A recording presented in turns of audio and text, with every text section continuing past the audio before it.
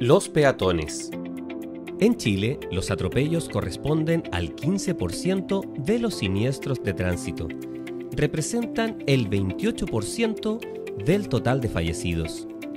Zona de incertidumbre.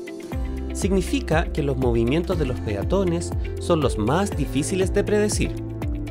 Infracciones más comunes de peatones. Descender sorpresivamente a la calzada y cruzar de manera indebida, sin respetar los semáforos, usando los pasos de cebra o pasarelas.